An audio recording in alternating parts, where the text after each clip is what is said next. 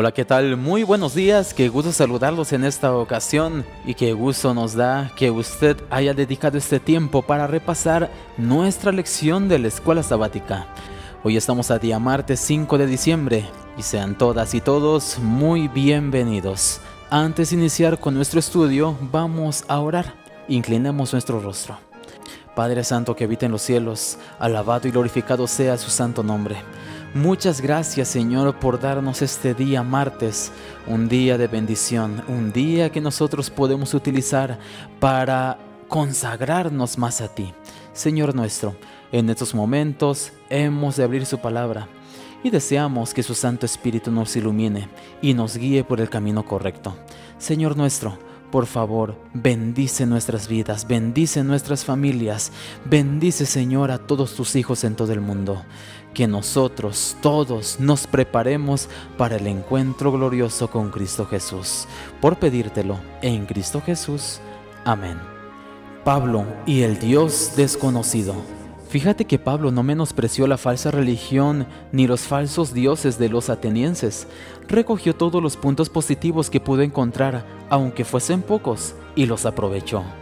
Lee Hechos capítulo 17 versículos 22 y 23. ¿Qué estaba haciendo Pablo aquí en su intento de alcanzar a estas personas con el Evangelio?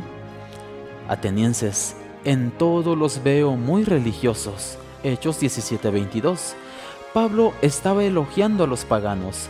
Su religión era errónea en todos los sentidos. Sin embargo, Pablo elogió su devoción a ella, porque la devoción incluso a una espiritualidad errónea es más encomiable que no tener ningún interés espiritual. Pablo continuó, porque al pasar y observar los monumentos de su culto, Hechos 17:23, al describir su propio estudio de la religión ateniense, Pablo comunicó una actitud respetuosa hacia la gente.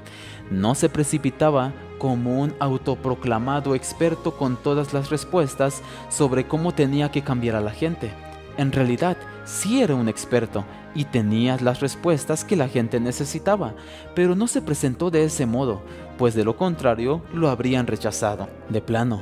En cambio, lo recibieron como alguien que se preocupaba por la gente y deseaba su bien. Al comentar la inscripción al Dios desconocido, Hechos 17:23, Pablo aprovechó lo que podía considerarse como un terreno común. Creían en Dios, en muchos dioses en realidad, lo cual era un gran comienzo. Algunos de aquel entonces no creían y podía abrir el camino a una conversación más profunda no se burló de la idea negativa de un altar a un Dios desconocido, sino que apreció y admiró a un pueblo que se preocupaba lo suficiente por las cosas espirituales como para hacer el esfuerzo y el gasto de adorar algo que ni siquiera conocían por si les faltaba algo. ¿Estaban equivocados? Por supuesto, pero eso tenía solución. Lo importante al principio era que fueran devotos en lo que sí entendían Pablo reconoció que eso era material con lo que el Espíritu Santo podía trabajar. Pablo había encontrado un tema de conversación que despertaría el interés de ellos. ¿Qué puentes y puntos de contacto se te ocurren que abrirían oportunidades para una conversación más profunda con otras personas con las que entras en contacto? Muchas gracias por acompañarnos en el repaso de la lección de Escuela Sabática Estudiando Ando.